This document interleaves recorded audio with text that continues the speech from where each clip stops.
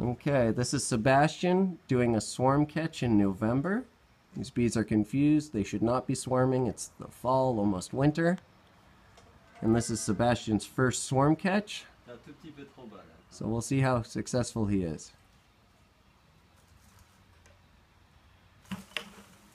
Again. Again. Again.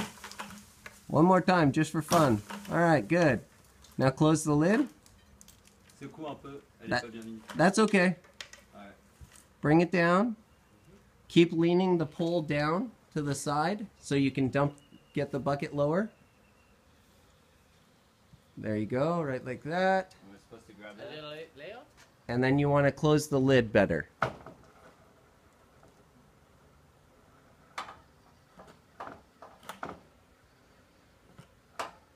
Okay, so if you push down on the lid to make it secure,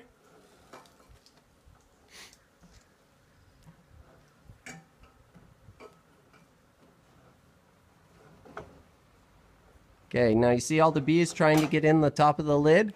Oh, wait, the bar is just going down. All right, Matt, why don't you grab the bar? Let me see.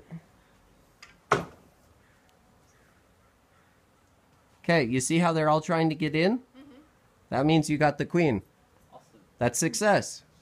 Okay, so now we just need to probably use a little stinky stuff up there um, to and knock those guys, the followers, off.